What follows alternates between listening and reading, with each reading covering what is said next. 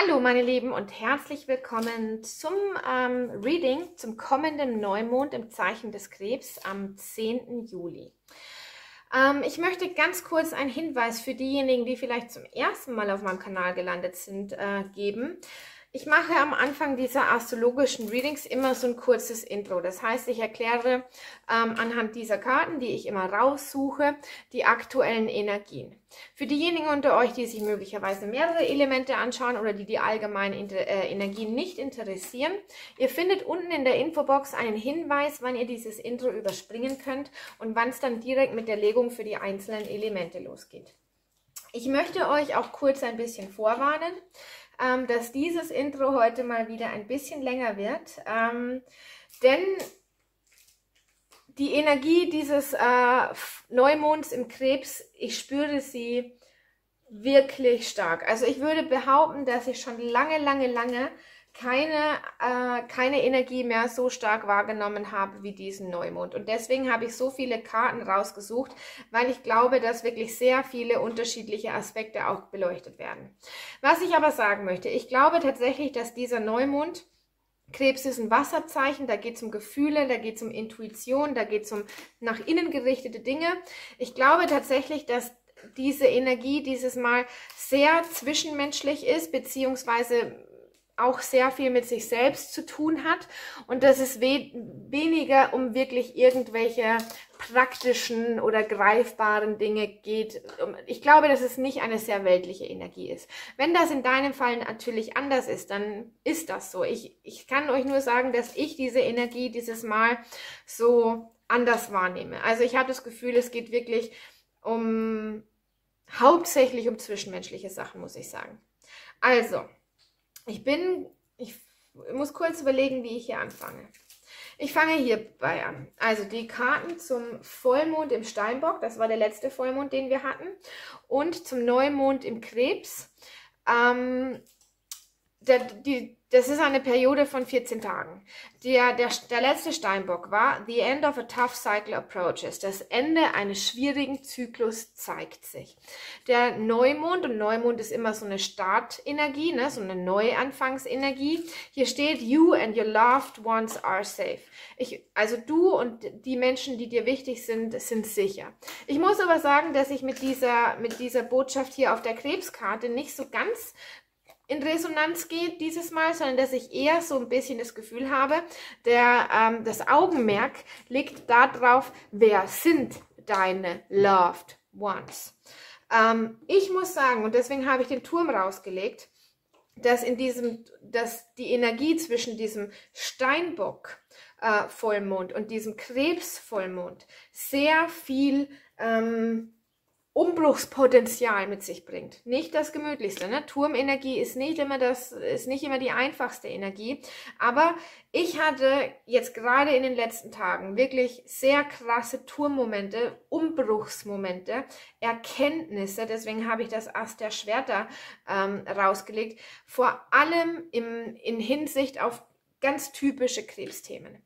Ähm, deswegen, ich könnte mir vorstellen, dass, ähm, dass die, die letzten 14 Tage oder vielleicht auch die letzten vier Wochen bis, bis ähm, Ende Juli wirklich Dinge passieren könnten, die eine grundsätzliche Veränderung bedeuten. Denn genauso habe ich das Ganze persönlich erfahren. Jetzt, bevor ich, bevor ich äh, ein bisschen persönlicher werde, typische Krebsthemen, die dieser Neumond beleuchtet sind das zum einen das Zuhause, die Familie, aber die vier Stäbe ist für mich auch immer eine Krebskarte. Da geht es so ein bisschen um das Ankommen. Ähm, und es, die Geborgenheit. Also in erster Linie muss ich sagen, habe ich die vier Stäbe heute für das Thema Geborgenheit oder für, ja, für das für das Wort Geborgenheit rausgelegt, denn ich hatte tatsächlich, deswegen ne, Tourmoment, ich hatte ähm, die Tage sehr viele Erkenntnisse, was Geborgenheit angeht. Sehr viele ähm, Erkenntnisse über Menschen, you and your loved ones.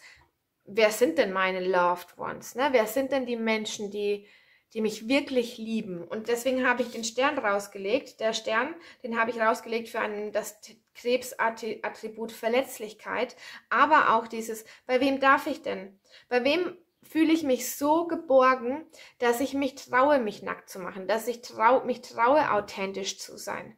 Denn auch das ist eine Erfahrung, die ich jetzt in den Tagen gemacht habe und das war eine Wahrheit, ich muss es kurz reinschieben, das war eine Wahrheit, die ich, die ich eigentlich gewusst habe. Aber ich wollte diese Wahrheit nicht zulassen, ich wollte das nicht sehen, ich wollte das nicht erkennen. Ich habe mich so ein bisschen gewehrt, diese Erkenntnis oder diesen Turmmoment zuzulassen, weil die Wahrheit natürlich manchmal auch wehtut. Und ich habe erkannt, dass es Menschen in meinem Leben gibt, bei denen ich das nicht sein kann. Ne, bei denen ich mich nicht so geborgen fühle, bei denen ich nicht ich bin, bei denen ich irgendwie tatsächlich versuche zu gefallen oder ähm, auch so ein typisches Krebsattribut von Schutzmauern, wo ich ganz, wo ich plötzlich ganz hohe Schutzmauern hochziehe, ähm, weil ich irgendwie das Gefühl habe, dass das, was mich tatsächlich ausmacht, ähm, da nicht so willkommen ist oder nicht so gewünscht ist. Ich hoffe, ihr wisst, was ich meine. Und ich habe das Gefühl, dass diese Schutzmauern, ne, Protection oder ne, generell das Beschützen, ist ein Krebsattribut. Ich glaube, dieser Neumond wackelt an diesen Mauern. Dieser, ne, ich glaube, vor der Wahrheit oder vor diesen Erkenntnissen, vor dem, was was passieren soll oder vor dem, was du erkennen sollst, kannst du, glaube ich, deine Mauern nicht mehr lange stehen lassen. Ich habe das Gefühl, die Wahrheit will durch, ne? Ast der Schwerter, die Wahrheit will durch, die Klarheit will durch. Wie ich es in meinen letzten Readings auch schon gesagt habe. Ähm, das ist dieses Jahr oder dieser Sommer in, im Besonderen ist das Jahr, in dem sich die Menschen finden, die füreinander bestimmt sind. Ne? Die Menschen, wo du du sein kannst, wo du authentisch sein kannst, die Menschen, wo du ankommen kannst, ähm, die Menschen, bei denen du dich verletzlich zeigen darfst und wo dir das auch alles sehr leicht fällt, ne? heilende Verbindungen. Aber, und das hat mir jemand in, den, äh, in die Kommentare gepostet und ich sage immer, immer wenn was hängen bleibt, dann hat es für mich auch Bedeutung. Es ist auch die Jahr, äh, das Jahr oder der Sommer, wo sich mit dieser Steinbock-Energie, Saturn, in, äh, Saturn im Wassermann und also Saturn ist Steinbock ist der Ruler of Saturn, deswegen, deswegen habe ich auch diesen äh, Steinbock-Vollmond rausgelegt, aber wo auch die Verbindungen endgültig brechen, aus deinem Leben wegbrechen, die Menschen, ne, wo dir wirklich plötzlich klar wird, ähm, wer das nicht ist. Ne? Wer, wer gibt dir nicht das Gefühl von Geborgenheit? Wer gibt dir nicht das Gefühl, dass du liebenswert bist, dass du geliebt bist, dass du gut genug bist, und das ist so ein bisschen ne, diese, diese Umbruchsenergie. Wer ist das und wer ist es nicht? Und ich habe das Gefühl, dass diese Wahrheit zu dir durchdringen wird. Auch wenn sie weh tut. Ich kann euch nur ganz am eigenen Leib sagen, dass mir meine Wahrheit auch wehgetan hat, ähm, die da zu mir durchgedrungen ist. Und dann auch so ein Krebsattribut, also beziehungsweise Krebsattribut ist gut gesagt, die Krebskarte, der Wagen, Movement, und das ist auch etwas, was ich diese Woche erlebe. Diese Turmenergie, dass plötzlich wieder Bewegung in mein Leben kommt. Ich hocke jetzt seit Wochen und Monaten irgendwie in meiner Wohnung herum und alles, was ich irgendwie versucht habe, ich habe ich hab dringend versucht, einen Impftermin zu kriegen, habe ich nicht bekommen. Ich wollte unbedingt in Urlaub, ich wollte unbedingt mal wieder Leute sehen und irgendwie aus tausend unterschiedlichen Gründen hat alles nicht geklappt. Alles war so stagnierend und alles, ne, ich, ich kam irgendwie so gar nicht vom Fleck.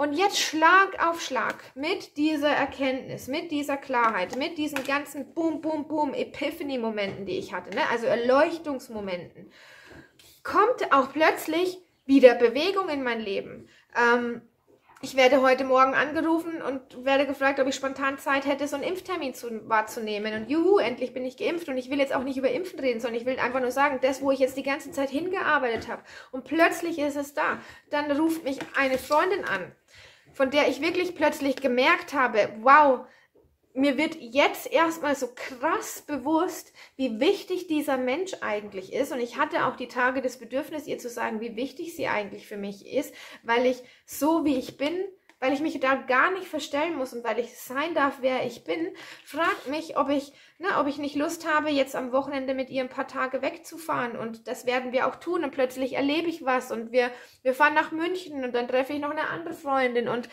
plötzlich kommt diese Bewegung. Also ich habe wirklich das Gefühl, dass diese Umbruchsenergie ne, uns rausholt aus dieser stagnierenden Energie. Was? As der Schwerter manchmal auch ein sehr einschneidendes Erlebnis sein kann, ne? dieser, dieser Umbruch oder diese Erkenntnisse. Aber mit, dieser, mit diesen Aha-Momenten und mit diesen Tourmomenten kommt auch endlich wieder die gewünschte Bewegung. Kommt auch endlich wieder dieses, okay, ich komme weg vom Fleck. Und das ist so ein bisschen die, die Energie, die dieser, ähm, die dieser Neumond eben beleuchtet. Und so lasse ich das hier auch stehen. Ähm, trotzdem, meine Lieben, ich bin so gespannt, was jetzt da in den einzelnen äh, Elementen rauskommen will, weil ich habe wirklich das Gefühl, das Universum rüttelt ordentlich. Also ich habe wirklich schon lange, lange, lange keine Energie mehr so intensiv wahrgenommen wie diesen Neumond. Ähm, und deswegen glaube ich auch, dass es, dass sehr viele vielleicht auch Epiphany-Momente haben könnte, auch Momente der Erleuchtung, auch Momente, wo die wo die Wahrheit sich durch deine Mauern, durch deine Resistance durchdrückt. Und mit dieser Wahrheit hast du die Chance, wieder dich in deinen Wagen zu setzen und in deinem Leben nach vorne zu fahren. Gut, meine Lieben, vielen Dank fürs Zuhören und jetzt geht's weiter mit den Elementen. Bis gleich. Hallo meine lieben Luftzeichen und herzlich willkommen zu eurer Neumondlegung. Ja, meine Lieben, auch ihr bekommt jetzt quasi ein Late Night Tarot. Wir haben mittlerweile, lasst mich gucken, ähm, 1 Uhr 37 und die kleine Kati kann nicht schlafen. Also hat sie sich gedacht, sie macht jetzt einfach die äh, Legungen heute fertig. So, meine Lieben, ihr seid jetzt ähm, die letzte Elementegruppe, die ich abdrehe und durch alle Legungen hat sich jetzt ein roter Faden gezogen, der etwas damit zu tun hat, über die Menschen, die im Leben sind. Ne? Die, die Menschen, die dich begleiten, die Menschen, die dir wirklich Geborgenheit geben. Ähm, ich bin sehr gespannt, ob bei euch genau die gleiche Botschaft rauskommen will. Es waren wirklich nur Nuancen, in, de in denen sich die Legungen unterschieden haben. Deswegen, ich glaube, dass das Kollektiv, ne, also das das passiert gar nicht so oft, zumindest auf meinem Kanal, dass wenn ich vier Elemente abdrehe, dass auch vier, ähm, vier gleich oder vier identische Energien rausfallen. Wenn das so ist, dann ist es immer ein Zeichen davon, dass das Kollektiv wirklich nah beieinander ist. Das heißt, dass diese Wirkung ähm, auf sehr viele zutrifft oder dass diese Energie sehr auf sehr viele genauso wirkt. Und deswegen bin ich gespannt, ähm, was da jetzt bei euch für eine Botschaft rauskommen will. Wie immer, meine Lieben, spür in dich hinein, ob du dich hier in dieser Legung wiederfindest. Wenn du das Gefühl hast, dass, dass das gar nicht zu dir passt, zu deiner Situation, ähm, dass wenn du dich nicht angesprochen fühlst, wenn du darüber nachdenken musst, wie ich irgendwas meinen könnte oder so, dann mach das Video einfach aus, schau dir eine andere Legung an, ein anderes Element. Ähm, oder lass es ganz sein, denn es ist nicht immer eine Botschaft dabei. Also es ging mir jetzt zum Beispiel monatelang so, äh, dass ich mit keiner Legung mehr, die ich mir angeschaut habe, und deswegen habe ich auch fast keine Legungen mehr geschaut, irgendwie in Resonanz gegangen bin. Und das ist in der Regel dann auch ein gutes Zeichen. Das ist, wenn man gar nicht in Resonanz geht mit irgendetwas, dann ist es oft eben auch so, dass man die ganze Guidance, die man sucht, ja bereits in sich trägt und anstatt da irgendwie im Außen nach der Antwort zu suchen, vielleicht nach innen zu kehren und so, ne, zu schauen, ob man die Antwort nicht vielleicht schon kennt. So, kurzer Exkurs. ja, Late Night Tarot für diejenigen, die es nicht wissen. Ähm, da wird es manchmal ein bisschen deeper und ein bisschen ehrlicher manchmal auch. Ähm, oder ein bisschen direkter. Ich bin ja immer ehrlich genug oder ehr gleich ehrlich, aber es wird manchmal ein bisschen direkter. Ähm, ich erzähle auch viel mehr Quatsch. Also ich äh, vertue mich gern mal, wenn ich äh, Karten benenne oder so. Aber die Botschaften sind in der Regel ein bisschen deeper. So, liebes Universum, eine Botschaft hier für meine Luftzeichen. Ähm, das hier ist das Monology Oracle und dann, dann benutze ich noch das Psychic Tarot of the Heart. Ja, die war aber schleppend, interessant. Don't let the past hold you back. Lass dich nicht von deiner Vergangenheit abhalten an der Unterseite des Decks. Meditate and contemplate. Okay, es gab wohl einen Grund, ähm, dass ich das gerade gesagt habe mit der Resonanz, dass manche Antworten in sich liegen. Genau davon spricht diese Karte hier. Meditation, ne? in sich hineinhören, contemplate, ähm, sich mit sich selbst auseinandersetzen. Also ich habe das Gefühl, auch bei dir sehe ich schon wieder so ein bisschen diesen roten Faden, also bei euch Luftzeichen, sehe ich schon wieder so ein bisschen den roten Faden, dass eine bestimmte Antwort bereits in euch ist dass man nur hinhören muss, reinfühlen muss. Oh mein Gott, ich sehe schon wieder so viele gleiche Karten. Ich würde mir tatsächlich mal so, ein, so einen Absacker von, vom roten Faden wünschen, ähm, damit ich nicht das Gefühl habe, dass ich die ganze Zeit das Gleiche sage. Ich habe wirklich das Gefühl, ich habe jetzt sehr oft das Gleiche gesagt. Ähm, eine Botschaft hier für meine Luftzeichen. Third Eye Chakra. Und das ist die Dinge mit einem Auge sehen, das äh, ja nicht links und rechts an deinem Kopf verankert ist. Okay. An der, darunter die zwei Kelche, meine Lieben. Coming together. Okay. Okay, okay. Don't let the past hold you back. Das lege ich mal umgedreht hier noch auf die Seite. Irgendwie fühle ich mich dahin gezogen. Also, ich habe das Gefühl, dir möchte, und das ist ganz krasse Krebs- und Wasserzeichen-Energie, es geht hier vielleicht mal darum, dein Luftzeichenkopf auszuschalten und dir mal nicht die logische ähm, Quelle deiner Informationen suchen, sondern mal so dich auf die andere Ebene einlassen, die Informationen aus anderen Ebenen holen. Also wirklich so ein bisschen weg von diesem Verstandesorientierten. Ähm, Informationen sammeln und so ein bisschen, ich habe auch das Gefühl, es geht so ein bisschen nach innen mit dieser Fische-Energie, denn die Informationen oder die Antworten, die du möglicherweise suchst, die äh, zwei Münzen und die zwei Stäbe, ne, die vielleicht bist du irgendwo hin und her gerissen, vielleicht bist du dir irgendwo nicht sicher und du hältst Ausschau nach Informationen und Antworten und schaust vielleicht auch deshalb ein Reading an, ist dieser Hinweis, mach, ne, ist jetzt so ein bisschen kontraproduktiv für mich selbst, aber mach dieses Video aus und hör in dich hinein. Hör in dich hinein. Vielleicht hast du die Antwort bereits. Vielleicht schlummert sie bereits in deiner Seele.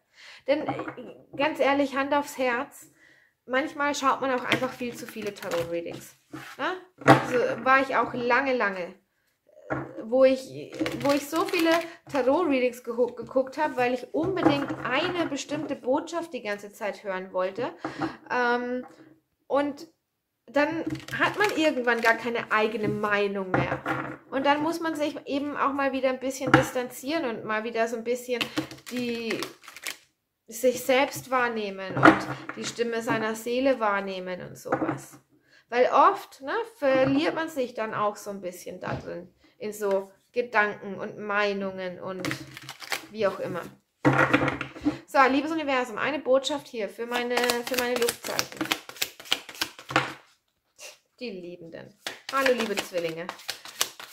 Ich lache nur, okay, das waren jetzt ein bisschen viele. Ich lache nur, weil ich die auch gerade gesehen habe. Die Gerechtigkeit. Hallo, liebe Wagen. Die sechs Kelche, da, das sind sie. Ich habe gewusst, warum ich diese Karte liegen lasse. Lass dich nicht von deiner Vergangenheit zurückhalten. Und die erste Karte ist die Vergangenheit. Die sechs Kelche. Die ist, äh, Quatsch. Ja doch, die ist auch interessant. Sechs, sechs, sechs, meine Lieben. Sechs Kelche, sechs Stäbe, die Liebenden. Und na, 666, das ist eine Teufelzahl, das ist eine toxische Zahl. Und vielleicht, vielleicht ist für manche von euch wirklich dieses Hör auf, ähm, irgendwie Bestätigung im Außen zu suchen, durch so Tarot-Readings oder sonst irgendwas, durch andere Menschen. Hör auf irgendwie, weiß ich nicht, so ein bisschen in der, in den Erinnerungen oder zu kramen. Ich weiß es nicht. Warum liegt diese Fische-Energie hier, liebes Universum? Warum liegt diese nach innen gerichtete Energie hier? Ja, der fünf, die, wow, die fünf Münzen. Also es fallen wirklich aus unterschiedlichen Decks auch absolut die gleichen Karten. Und der König der Münzen, genauso wie bei den Erdzeichen gerade. Ähm,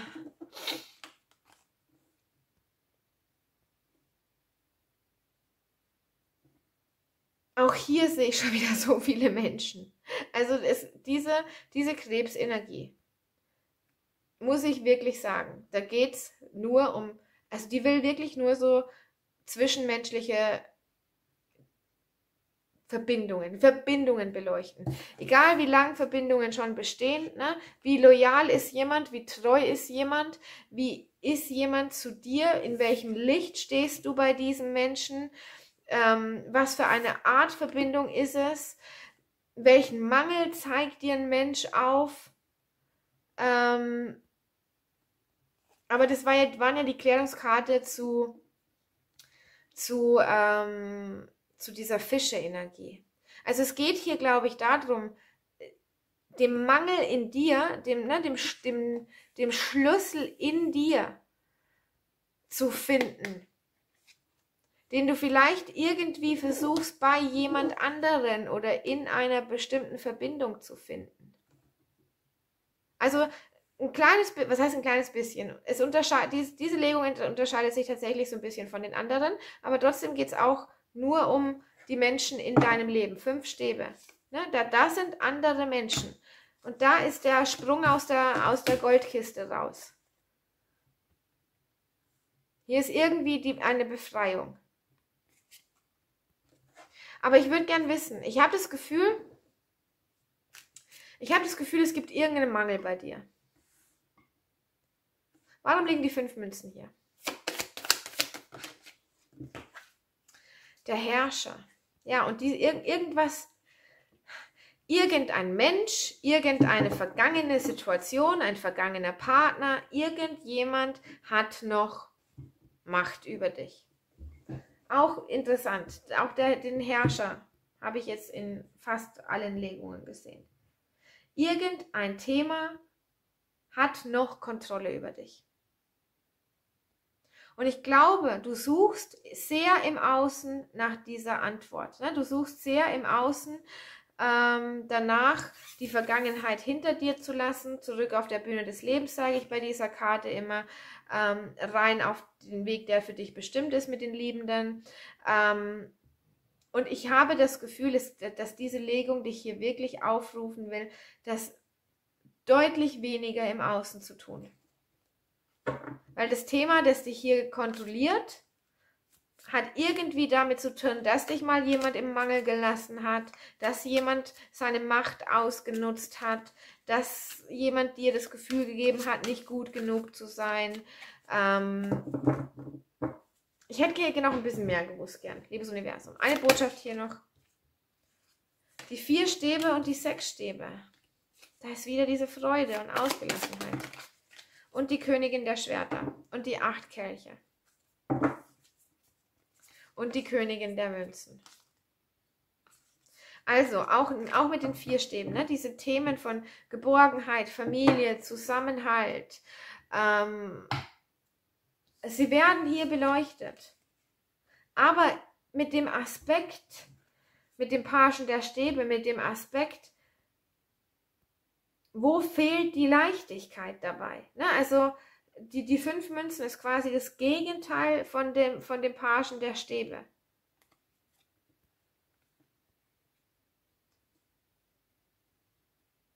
Und ich sehe dich hier als die Königin der Münzen und die Königin der Schwerter. Und das, die Königin der Schwerter war gerade auch die erste Karte bei den Erdzeichen. Ich sehe dich hier ganz bewusst dich mit diesen Dingen auseinanderzusetzen. Und ich glaube tatsächlich, dass es bei euch nicht, nicht zwingend darum geht, welche Menschen ihr aussortieren müsst, sondern welche Begegnungen, diese liebenden Energien, haben euch welche Themen gespiegelt. Denn ich habe das Gefühl, dass du einen Mangel hast oder dass du ein Gefühl in dir trägst, ähm, das immer noch irgendwie einen krassen Einfluss darauf hat, wie du die Dinge siehst oder ne, was, wie es dir geht, möglicherweise auch. Und ich glaube, König der Münzen, den nehme ich irgendwie als dieses Außen wahr. Du versuchst die Antwort im Außen zu finden, finden aber sie liegt bei dir. Ne? Sie liegt bei der Königin der Münzen, nicht beim König der Münzen. Es hat, ich glaube, es hat irgendetwas damit zu tun, auch damit zu tun, wie du dich selbst siehst. Oder welches Gefühl Leute dir geben, wie du dich sehen sollst, wie du sein sollst. Ich hoffe, das macht Sinn für euch. Aber definitiv hier auch, ne? Das, das, das sind Freunde, das sind Kinder. Ganz stark diese, ja, diese zwischenmenschlichen Dynamiken angesprochen. Und ich glaube, gerade mit dieser Vergangenheit, ne, don't let your past hold you back, lass dich nicht von deiner Vergangenheit abhalten. Ich glaube, diese fünf Münzen haben etwas mit der Vergangenheit zu tun. Meine Lieben. Ich hätte jetzt gern noch eine letzte Karte hier zur Königin der Schwerter und zu den, ähm, zur Königin der Münzen. Ja, die zwei Münzen. Also das Ungleichgewicht Gewicht herrscht in dir. Das, ich glaube auch, dass du die Antwort nicht, in, äh, nicht im Außen findest darauf. Das Ungleichgewicht hat vielleicht dir jemand gespiegelt. Ne? Vielleicht hat dir jemand was angetan oder du warst in einer Situation mit jemand anderen. Aber der Mangel hat nichts mit dieser Person zu tun. Sondern diese, diese Person hat dir deinen eigenen Mangel noch gespiegelt und wie sehr dieser Mangel offensichtlich noch ne, Emperor, also der Herrscher, Macht über dich hat und darüber hat, wie du dich fühlst. Und das kann aus deiner Kindheit kommen, das kann aus, ähm, aus deiner Familie kommen. Aber das Problem, das du hier versuchst zu lösen, habe ich das Gefühl, oder die Antwort, die du versuchst zu finden, hat nur mit dir zu tun. Das sagt diese Legung bisher wirklich möglicherweise auch mit deiner Kindheit, mit der Art und Weise, wie hast du Geborgenheit erlebt, wie hast du Liebe erlebt, ähm, wie hast du Beständigkeit und Familie erlebt, was auch immer. Ne? Der Herrscher kann ein Vater sein, ähm, genauso wie der König der Münzen. Also irgendein Thema gibt es hier, das dir möglicherweise ein, ein Liebespartner spiegelt, gespiegelt hat und dass es jetzt wie die Königin der Schwerter zu erkennen gilt. Denn nur diese Erkenntnis ist auch das, was dich dann weiterbringt. Aber das Ungleichgewicht liegt, hat, ne, oder die, die Disbalance, die herrscht irgendwie noch in dir. Und so lasse ich das hier stehen, meine Lieben. Unten in der Infobox findet ihr den Link zum weiterführenden Reading, wo ich auf all das hier nochmal genauer eingehen möchte. Außerdem findet ihr alle meine Zusatzvideos auch auf meinem Patreon-Channel. Und wer nicht weiß, was Patreon ist, auch dazu findet ihr unten in der Infobox alles, was ihr dazu wissen müsst und wie ihr da beitreten könnt. Ich möchte in diesem Extended Reading mal auf diese Vergangenheit schauen, denn sie zeigt sich hier. Ich möchte aber auch schauen, weil ich habe das Gefühl, du kannst hier was, du kannst hier was erkennen. Ne? Die Königin der Schwerter, sie ist so eine laute, laute ähm, Energie in diesen Readings. Und genau das habe ich ja auch in dem Intro gesagt. Ne? Die, die Wahrheit drückt sich durch den Zaun und ich habe das Gefühl, genau das sehe ich hier auch. Ähm, ich habe das Gefühl, die Menschen spiegeln dir so ein bisschen deine Mangelthemen und dass du jetzt erkennen kannst, woran du arbeiten musst oder wo es liegt, ähm, damit die Mangelthemen gehen, damit diese fünf Münzen gehen. Und dass die Aus Antwort hier wirklich nicht bei irgendjemandem zu finden ist, außer bei dir, bei dir selbst und deiner Kindheit möglicherweise. Gut, wir schauen mal, was da rauskommt.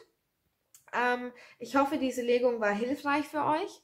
Ähm, vielleicht bis gleich. Ansonsten hoffentlich bis bald. Tschüss.